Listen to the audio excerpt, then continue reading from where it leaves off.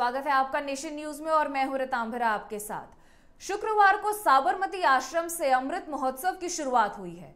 प्रधानमंत्री नरेंद्र मोदी साबरमती आश्रम पहुंचकर महात्मा गांधी को श्रद्धांजलि दी और साबरमती आश्रम की विजिटर बुक में अपना संदेश लिखा।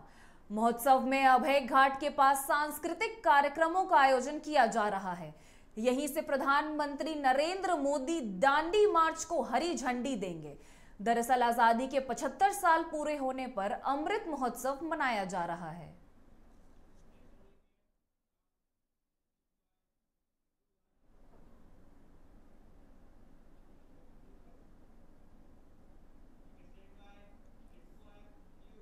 होली को लेकर बिहार में शराब की तस्करी तेज हो गई है। राज्य में उत्पाद विभाग ने भी विशेष अभियान चला रखा है। इसी के तहत बिहार के कई जिलों में आज भी शराब के खिलाफ छापेमारी अभियान जारी ही रहेगा।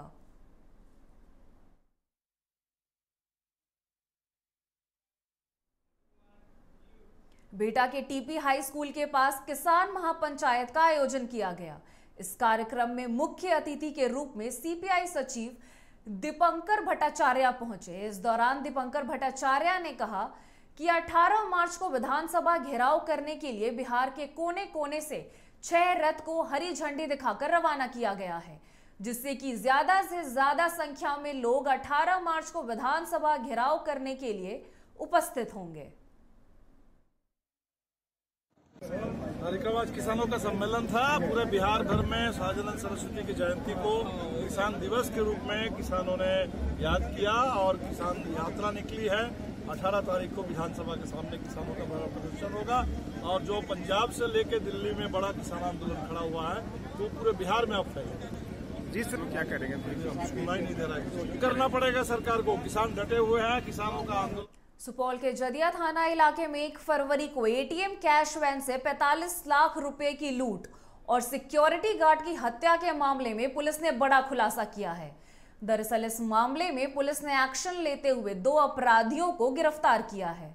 गिरफ़्तार अपराधियों के पास से नौ लाख पैतालीस हज़ार रुपए बरामद हुए हैं। वहीं इस मामले में एसपी ने बताया कि गिरफ़्तार अपराधियों पर पहले से भी कई गंभीर मामले दर्ज हैं। सुपौल ज़िले में जदिया थाना क्षेत्र में पिछले महीने के एक तारीख को एटीएम में पैसा लोड करने के दौरान एक बड़ी लूट की घटना कारित की गई थी। जिससे 45 लाख रुपए लूट करके ले गए थे और गार्ड को गोली मार दी गई थी, गार्ड की मृत्यु हो गई थी। उसमें से हम लोगों ने एक टीम बना करके खगड़िया पुलिस को बड़ी सफलता हाथ लगी है। दरअसल पुलिस ने गश्ती के दौरान तीन अपराधियों को भारी मात्रा में गोला बारूद, तीन देसी कट्टा, एक पिस्टल 35 से 40 315 का गोली 10 पिस्टल की गोली के साथ गिरफ़्तार किया है। बताया जा रहा है, तीनों अपराधी किसी घटना को अंजाम देने के फिराक में थे। इस मामले में पुलिस का कहना है कि गिरफ़्तार अपराधियों से पूछताछ जारी है। तो आपको बता दें कि खगड़िया पुलिस को बड़ी सफलता हाथ लगी है, जहाँ पुलिस ने गश्ती के दौरान तीन अपराधियों को भारी मात्रा में गोला बारूद और देसी कट्टा के साथ गिरफ़्तार किया है। आपको बता दें कि तीनों अपराधी किसी घटना को अंजाम देने के फिराक में थे, लेकिन पुलिस ने उन्हें गिरफ़्तार कर लिया और पुलिस ने बताया कि गिरफ़्तार अपराधियों से अभी फ़िलहाल पूछताछ की जा रही है। आपको बता दें कि अपराधियों के पास से तीन देसी कट्टा, एक पिस्टल 35 से 30 315 की गोली 10 पिस्टल की गोली और कई अन्य हथियार बरामद किए गए हैं, जहाँ पुलिस अपराधियों से अभी पूछताछ कर रही है। अपराधी किसी बड़ी घटना को अंजाम देने के फिराक में थे।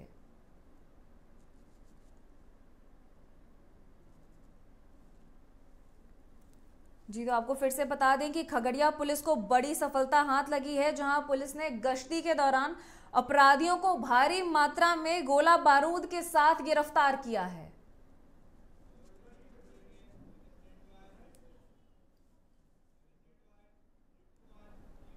मुकामा पुलिस को बड़ी सफलता हाथ लगी है। दरअसल एसपी के निर्देश पर पुलिस ने कुख्यात अपराधी महेश यादव को सलीमपुर थाना क्षेत्र के दियरा इलाके से गिरफ़्तार कर लिया है।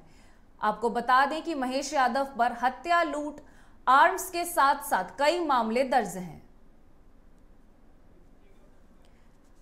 जी, आपको बता दें कि मुकामा पुलिस को बड़ी सफलता मिली है, जहाँ पर एसपी के निर्देश पर कुख्यात अपराधी महेश यादव को गिरफ़्तार कर लिया गया है। आपको बता दें कि महेश यादव पर पहले से भी हत्या, लूट, आर्म्स के साथ साथ कई ऐसे मामले दर्ज हैं। यहाँ पर एसपी के निर्देश पर अपराधी महेश यादव को सलीमपुर थाना क्षेत्र के दियरा इलाके से गिरफ़्तार कर लिया गया है।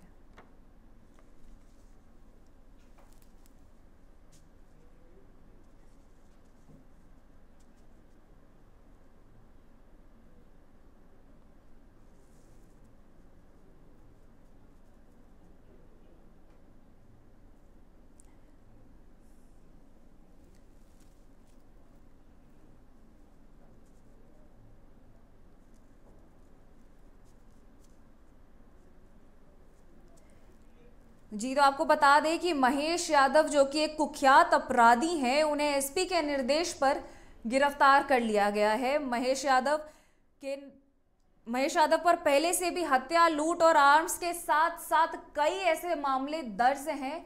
ये मुकामा पुलिस की बड़ी सफलता कही जा रही है, जहाँ पर उन्होंने महेश यादव को गिरफ़्तार कर लिया है। औरंगाबाद के जसैया मोड़ के पास एक ट्रक और ऑटो के बीच ज़बरदस्त टक्कर हो गई। हादसे में दो व्यक्ति की घटना स्थल पर मौत हो गई, जबकि अन्य सात लोग गंभीर रूप से घायल हो गए हैं। जिन्हें नजदीकी अस्पताल में भर्ती करवाया गया है। बताया जा रहा है कि ऑटो सवार सभी लोग गुप्त धाम से भगवान शिव का दर्शन कर औरंगाबाद लौट रहे थे। इस दौरान यह हादसा हुआ है। दस टर्निंग आज सुबह करीब तीन बजे। टी जसोरिया के पास ट्रक में धक्का मार दिया। जो कि टेंपू पे सवार आठ- ये टेंपू पे आठ दस लोग सवार थे। जिसमें नीरज कुमार को हॉस्पिटल लाने के दरमियान में इंतकाल हो गया। और उसके जो बाकी लोग सीरियस मोड में घायल थे किसी को इधर उधर हॉस्पिटल जी तो आपको बता दें कि औरंगाबाद के जसोइया मोड़ के पास एक ट्रक और ऑटो के बीच ज़बरदस्त टक्कर हो गई। हादसे में दो व्यक्ति की घटना स्थल पर मौत हो गई है और बताया जा रहा है कि इसमें सात लोग गंभीर रूप से घायल हैं। फ़िलहाल घायलों का इलाज नजदीकी के अस्पताल में चल रहा है। आपको बता दें कि ये सभी लोग गुप्त धाम की गुप्त धाम से पूजा करके लौट रहे थे, जहाँ पर ट्रक और ऑटो की टक्कर हो गई। और इसमें कई लोग घायल हुए हैं, जबकि दो लोग की मौत भी हो गई है अब तक।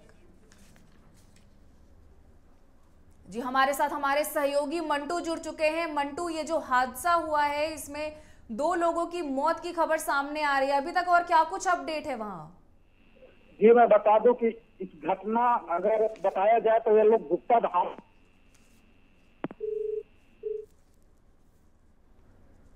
जी, लगता है हमारा संपर्क उनसे टूट चुका है, हम अपने सहयोगी के साथ बने रहेंगे इस खबर पर। तो मैं आपको एक बार फिर बता दूँ कि यहाँ पर अब तक दो लोगों के मरने की खबर आ रही है, जिसमें से सात लोग अभी भी घायल बताए जा रहे हैं और उन सभी का इलाज चल रहा है।